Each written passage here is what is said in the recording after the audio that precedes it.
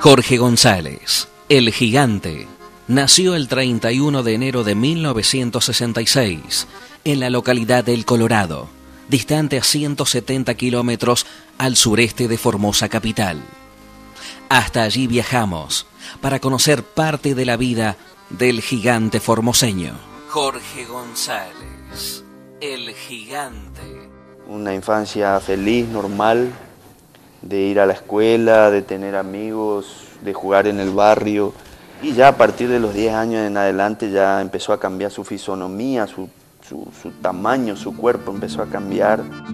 Jorge tuvo una rara enfermedad que lo hacía crecer con rapidez y de manera descomunal, poniéndolo en un lugar incómodo y desde allí tuvo que dar pelea.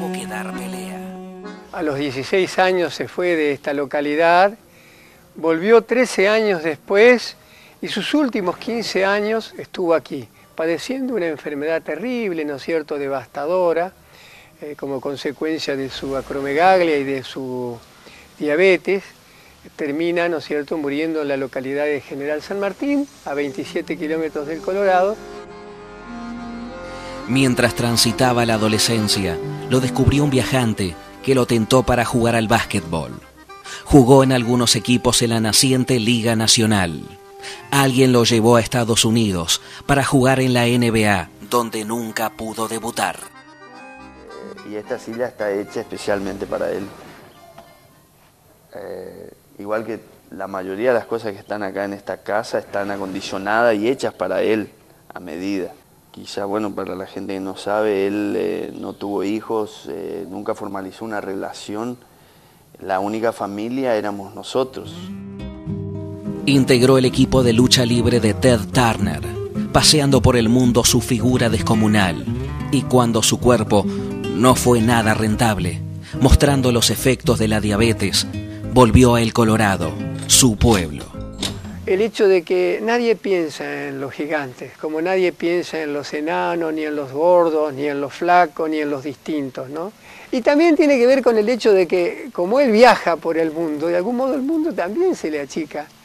Porque para un chico de 16 años que sale del Colorado, llegar a Miami, este, ir a vivir a Atlanta, eh, ser probado en la NBA, ser un luchador célebre del clan de Ted Turner, eh, viajar por Europa, filmar con Pamela Anderson. Es una cosa muy fuerte, es un sueño. Entonces creo que Jorge en el fondo agradecía eso también. Él para la edad que tenía, él recorrió el mundo, recorrió más de 25 países en el mundo, aparte de estar en Estados Unidos jugando al básquet y en la lucha libre, recorrió más de 25 países en el mundo. Él se liberó, fue libre en Estados Unidos. Él era uno más del montón, en el sentido de que no lo miraban tan asombrados como, como acá en la Argentina. Hay veces que, qué sé yo, acá en la Argentina todavía por ahí se mira con cierta discriminación por ahí a alguien porque es un poquito diferente. En Estados Unidos no es así.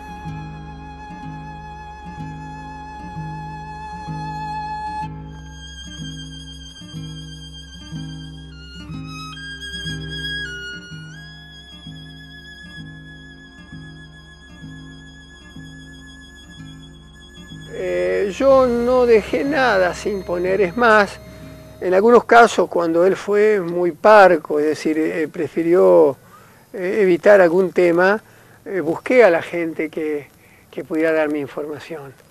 Los personajes que aparecen allí, por ejemplo, una de las chicas que fue su amante, y que es uno de los capítulos que a mí más me gustó, yo en realidad ese capítulo fue el último que escribí, porque era el que necesitaba para cerrar las cuestiones eh, afectivas de Jorge González.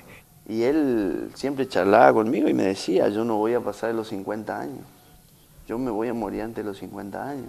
En cierta medida, en cierta medida nomás me, me sorprendió, pero no tanto el hecho de que él ya tenía su, su cajón.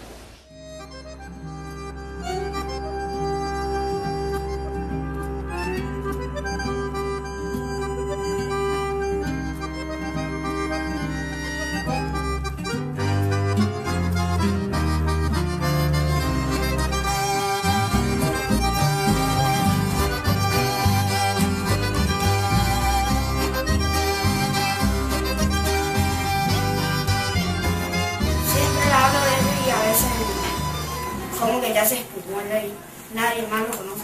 ¿Y vos le pedías a tu viejo que te cuente? Sí, muchas cosas le pido, pero a veces no me habla. Y después le pregunto a la hermana que es mi tío también. Sí. Y él sí me cuenta muchas cosas. Eligió el Colorado para pasar los últimos años de su vida. Falleció un 23 de septiembre del año 2010 en la localidad de San Martín, provincia del Chaco. Jorge González, el gigante formoseño.